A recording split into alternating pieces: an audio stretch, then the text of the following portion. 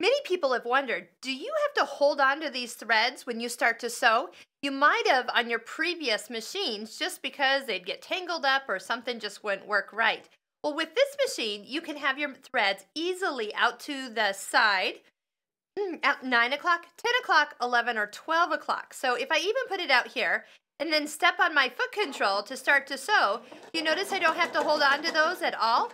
It really is that easy. Now the key is is that the take up lever is always at the highest position. So when you let the machine finish the stitch by using the needle up and needle down button and also the thread cutter, that eliminates a lot of problems. That's the beauty of having this machine. So just make sure that the thread's down underneath the foot to the back or to the side of the machine and then just let it hang and start to sew.